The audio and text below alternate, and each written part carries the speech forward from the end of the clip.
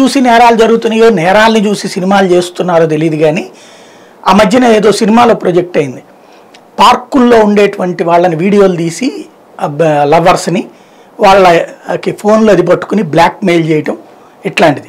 ఇది నిజ జీవితంలో ఎక్కడ జరుగుతుందిలే తీస్తుంటే చూస్తా ఊరుకుంటారా? మామూలుగా ఏ కెమెరాలతో అంటే లాంగ్ నుంచి తీయచ్చు కానీ సెల్ ఫోన్లతో కూడా తీయచ్చా అంటే తాజాగా ఇలాగ కెమెరాతో తీశాడో లేకపోతే సెల్ ఫోన్తో తీశాడు కానీ సెల్ ఫోన్తోనే తీశాడంట.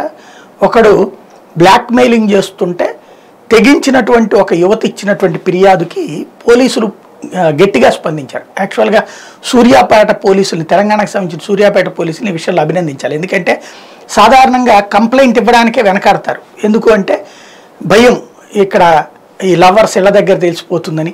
అందుకని ఎంత అడిగితే అంత డబ్బులు ఇస్తారు. వాళ్ళు ఏదైనా ఏదో పనులు చేయమన్నా చేసేటువంటి పరిస్థితి ఉంటుంది. అట్లాంటి టైంలో కంప్లైంట్ చేసే ధైర్యం చేయడం ఒక ఎత్తు పోలీసులు అట్లాంటిది మీరు మీరు తన్నుకు చావండి అని వదిలేయకుండా ఇనిషియేటివ్ తీసుకోవడం ఒక ఎత్తు.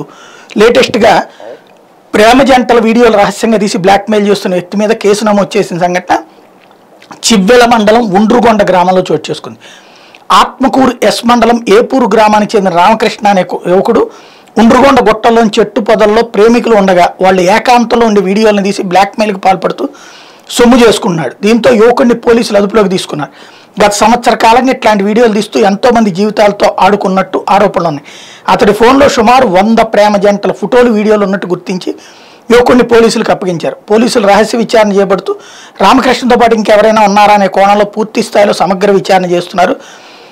చివ్వెంల ఎస్ఐ పి విష్ణు ఉండ్రుగొండ సర్పంచ్ శైలజ ఫిర్యాదు మేరకు కేసు నమోదు చేసి దర్యాప్తు చేపట్టారు. ఆ సర్పంచ్ గారిని అభినందించాలా? అట్లాగే పోలీస్ సబ్ ఇన్స్పెక్టర్ని కూడా అభినందించాలా ఇట్లాంటి వాటిట్లో లైట్ తీసుకోకుండా సీరియస్ ఎఫర్ట్ పెట్టినందుకు.